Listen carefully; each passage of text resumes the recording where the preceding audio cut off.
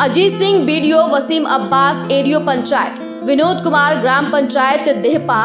राजेश कुमार, सचिव। विकासखंड संभल की ओर से सभी प्रदेशवासियों व क्षेत्रवासियों को गणतंत्र दिवस की ढेरों शुभकामनाएँ।